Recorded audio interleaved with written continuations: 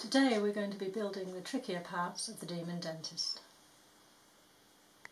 On stage one, when you're doing the patient's right leg, you can also at the same time jump ahead a little bit and do the right, uh, the left leg as well at the same time as a mirror pair. This part here, part two, make sure you've got the, it's got a shorter groove and a longer groove, make sure you've got that inwards then apply the glue down but not into the hole. Over the peg. And leave that about a one millimetre gap.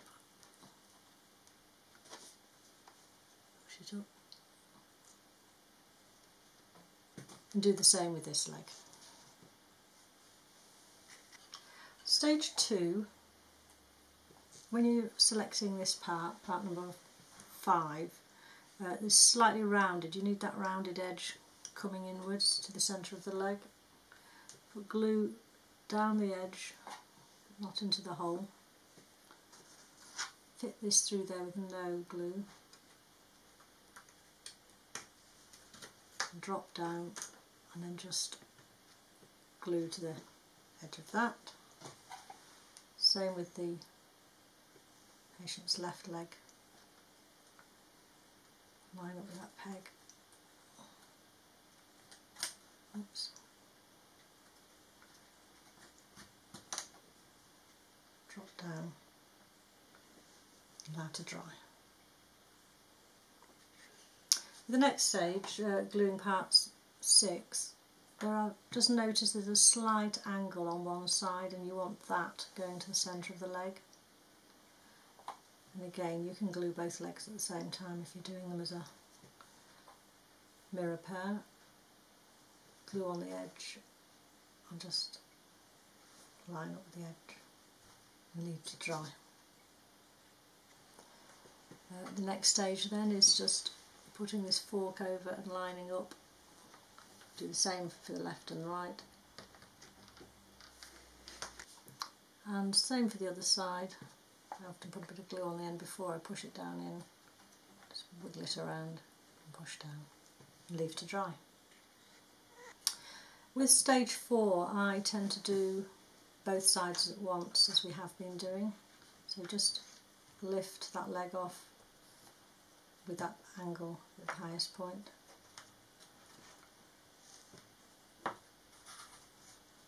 Same here.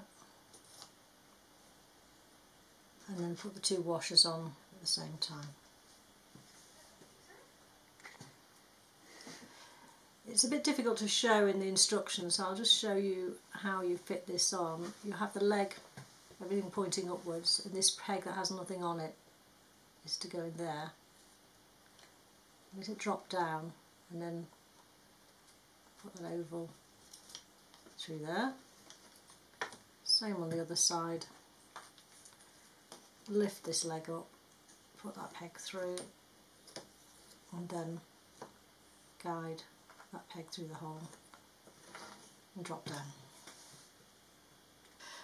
Right, so we're moving on a stage. We've fixed the outer upper thighs and lower legs on and I'm just going to show you the best way of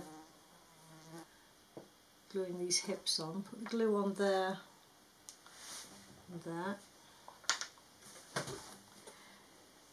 and you've got to line up that hole with the peg that you've put through.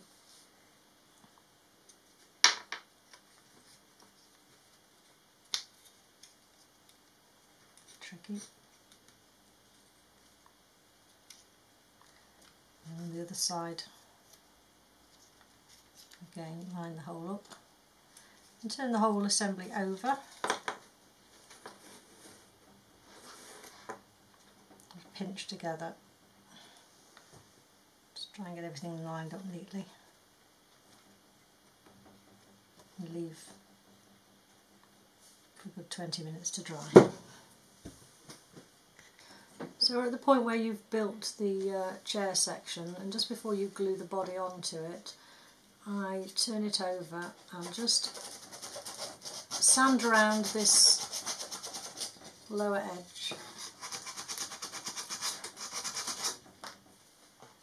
and wax it.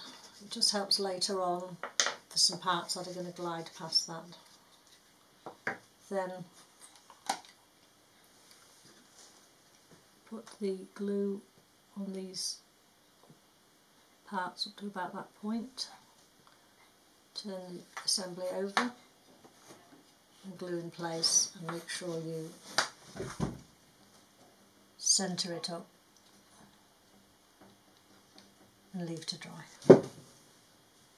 In section 16 I do the arms slightly differently. I've glued these parts together then I glue the two pegs in plenty of glue like that then smear the glue round on the surface. It's very important that these pegs are very glued, very firmly glued in. We don't want them revolving. You'll see later on why. And then the next stage is putting the lower arms in. Just make sure you've sanded and waxed this area off very well because you want this once the peg's in to be able to just pivot up and down very easily. So do a trial run and make sure it's able to do that before you then put the peg in. Just a quick one to show in section 19, just make sure you have the two holes in these two parts facing upwards uh, before you push the arms on. Uh, you don't glue anything at this stage but uh, you should do this when you move the arms up and down. Okay? In section 20, um, use the part with the Timberkits logo on and have that facing down. And then part 28, uh, it's not entirely clear which way around you have it. You have it so it's the same height as that part and glue it there.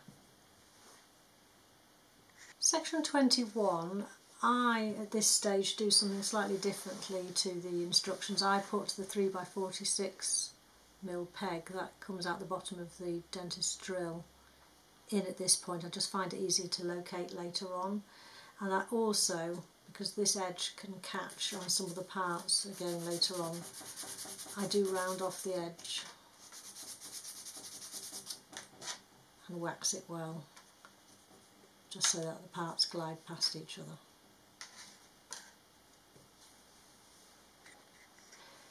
In section 23 you will have made these two assemblies. Uh, I tend to make these right at the beginning of making the dentist, or certainly a long way before you're going to use them, to let them grow go really hard, the pegs inside. Also, it says in section 25 to hook them in place uh, on the underside of the uh, patient. I don't because they just keep falling out because there's nothing to hold them in at this stage. So I just put them to one side and use them later, which I'll show you. Section 27, I'll just show you, when you're doing the glue on this, it's very important to only get it just on that thin edge there. You don't want to glue that arm.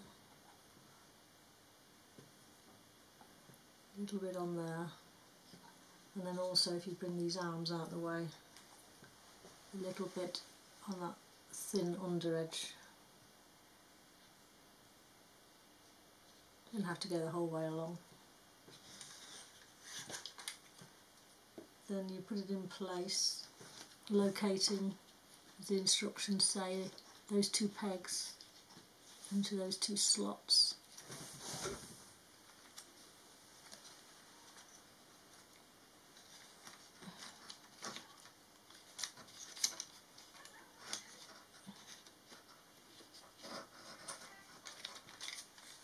There. And then just line, line them up with the hips, centralise there and leave to dry. Section 34, this is where I slightly differ from the instructions. As it says at the top, it will give you a left-handed model if you do it the way the instructions are. So I actually put the handle shaft in from this loose side, thread the spacer on put on one of your waxed offset cams then the other spacer with a bit of glue then the central cam. Twist it as you go just to spread the glue. Next spacer.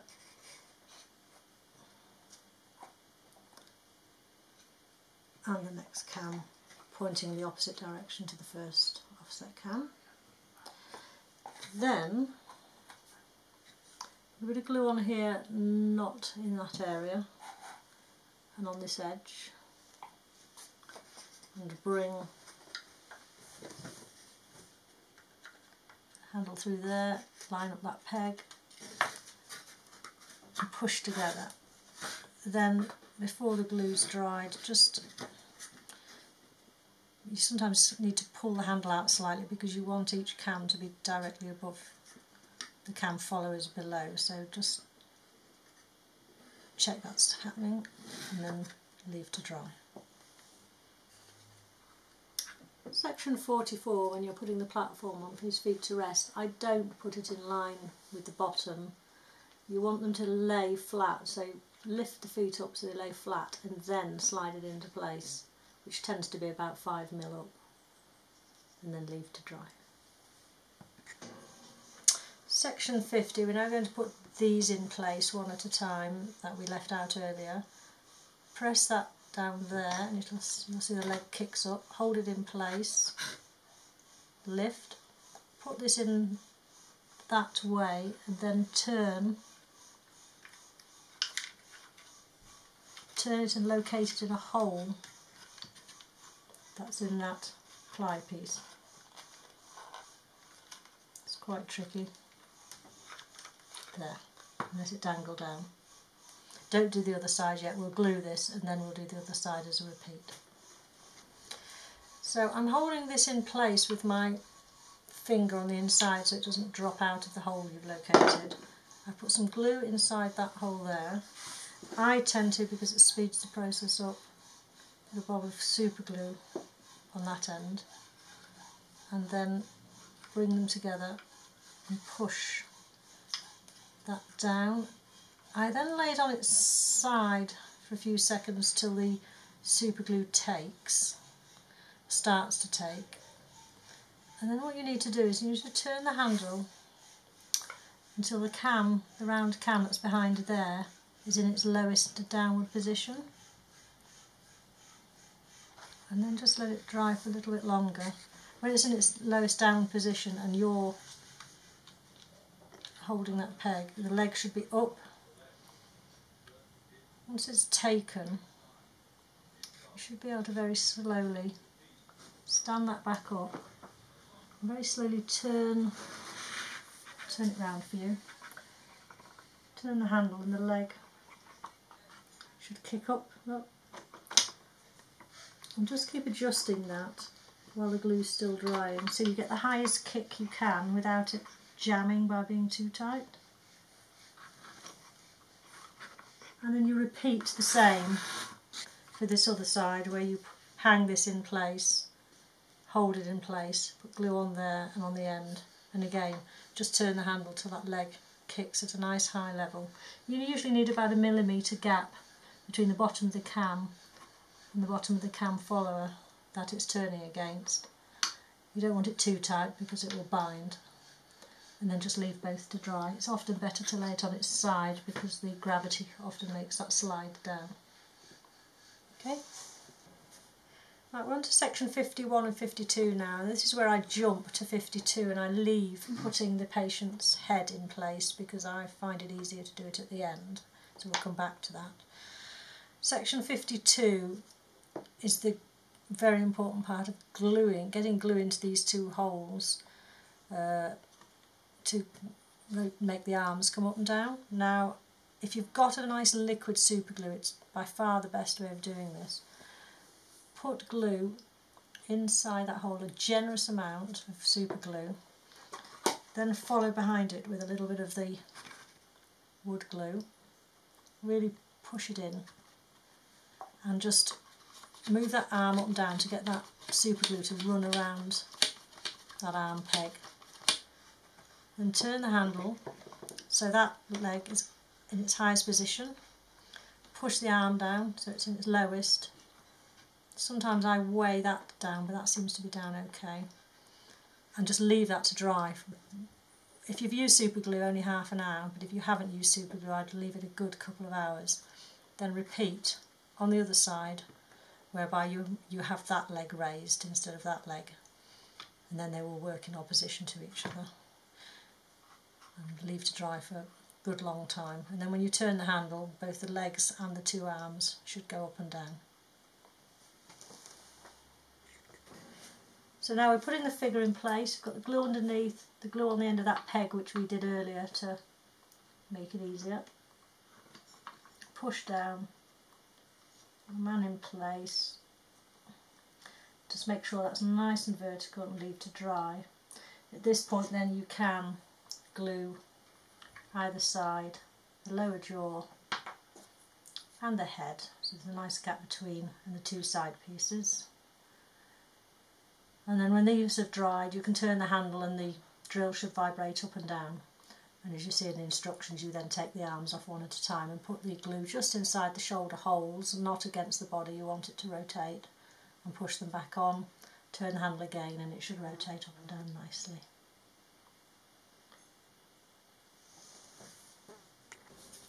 Just a couple of small points when you're getting near to the end. When you glue the hands on, glue them right on the outer edge and you might even need to pivot them slightly. That the, the edge of the finger can sometimes catch with a bench, so just make sure when you're gluing that it isn't conflicting. And also, if you get any slight catch as you turn the handle, um, you might need to just look up underneath and see if anything is catching as it goes up and down. There are several cams and things passing each other you might need to get in there with sandpaper and wax and just make sure everything glides smoothly against it. And sometimes this piece here can catch as it goes up in that groove again. Just You have waxed and rounded that off already, but you might need to do it some more. Just keep working on it until everything's gliding freely. And then it should look like this.